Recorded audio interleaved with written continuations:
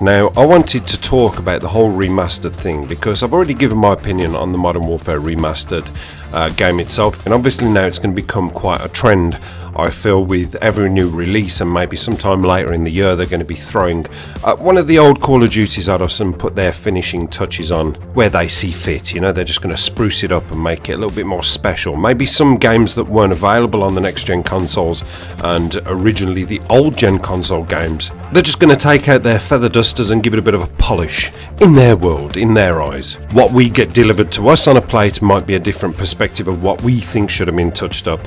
So that's just the way the cookie crumbles. Now, I have noticed that there are a lot of speculations, and I don't really tend to do much of this speculation, but I've had a bit of a theory, and I was thinking about something the other day, and I was like, mm, okay, maybe that might blow a few things out of the water. There's, um, there's obviously the speculation that Sledgehammer, being the next developer in the cycle of the three years, who are going to be making the next Call of Duty after their absolute failfest of Advanced Warfare, um, and it weren't a failfest, that's wrong, but it was, it was one of those. It was a hot potato for a lot of people. Uh, you know, for me included, I didn't like Advanced Warfare, but some people loved it. Some people embraced the whole change. That was where everything changed, and some people like, yes, this is the game for me. I love it. But my theory towards the next remastered Call of Duty is that it's not going to be Modern Warfare 2 like a lot of people are saying. Most people have seen, well, you know, they've bought out Call of Duty 4, so the next one will be Modern Warfare 2, and then after that it will be Black Ops, and then so on and so forth. Mind you, they've already done Black Ops, haven't they? So obviously it's not going to be Black Ops unless they decide to remaster that, you know, unless they decide to remake it again, because it looks as though from what they bought to the Xbox One is just a sort of, it's more of just an adaptable version. Whereas if they remaster it, obviously they've got to tidy it all up and make everything more crisp and sharp. So it's always an option that's out there and it's on the table, but most people are thinking that the next one is going to be Modern Warfare 2. Now, I think that it being Sledgehammer who is going to be making the next game, I don't know what the rules are with their sort of taking over Infinity Ward's game, but what I do know is the one game that Sledgehammer have had the biggest influence on um, as far as Call of Duty goes pre Advanced Warfare was Modern Warfare 3, and that to me is the game that is going to be the next uh, the next remastered Call of Duty. It's going to be Modern Warfare 3 because they they played a pinnacle part in the multiplayer in Modern Warfare 3. So as far as permissions go and things like that, that would be my that would be my gut feeling on that one. They would be the ones to bring Modern Warfare 3 into the new era of gaming as far as the consoles go. Now, I don't know how I feel about that because a lot of people didn't like Modern Warfare 3, but Modern Warfare 3 was very, very popular. It was a very popular game.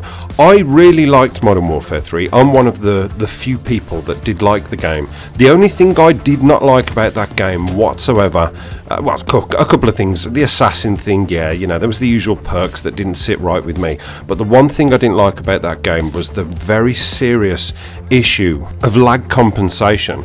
That was the first time I ever really experienced how bad the netcode with the lag compensation was.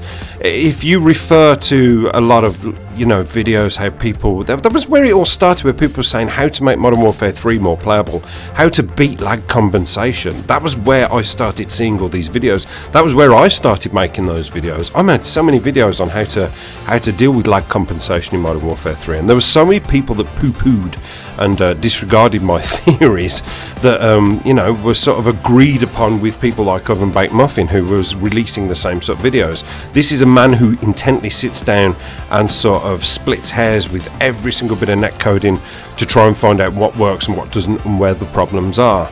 Now, my theories and my experiments with that game weren't that detailed because I'm not that intelligent that I can sit and break things down with about three PC screens in front of me and working out why that one you know, I moved around the corner there, but I didn't see myself there, and I'm going off this local host. I just couldn't do it. What I actually found with the game was that if you made your connection as crap as possible, that it worked. You know, it, it just worked. I, I would, if I ever wanted to play Modern Warfare 3, I would sit and I would upload a 50 gigabyte file to YouTube, and I would put everything, you know, in the house on Wi-Fi, and just completely drain my internet. And I remember seeing a video from somebody saying, "Hey, people throttling their bandwidth, it's the most ridiculous thing. If you had a hose and you were running water out of a hose, if you put a kink in the hose to try and throttle the flow of water, you're only damaging yourself. And I thought that's quite a good analogy, but you're just wrong. So, sorry about that. For me, it worked, and when I got my NetDuma router, it worked even better. I would put the sliders down to literally two, from 100% or 70% right down to two. So two upload, two download, turn everything flip reverse, and that game would run so much smoother for me. So as long as they don't incorporate that really bad lag compensation netcoding in, I think it could be enjoyable again. But there are other areas of concern for me. I, there's so many things that they've done with gaming now that I don't like. Like I say, the whole sensitivity thing. I was happy with three low, four medium, and then after that it was like custom. I was happy with that. It worked well with my movement. It worked well with my aim. Now the whole sensitivity thing, they've tried to get too too detailed with it. It's like, oh, it's horizontal, vertical. Have that at four and have that at two. That's fine. I can have it right down at the lower end so that I don't miss any of my shots. The only is when somebody shoots me in the back and I want to turn. it's like a slug trying to do a complete 180 turn to run away from a, I don't know, a fox.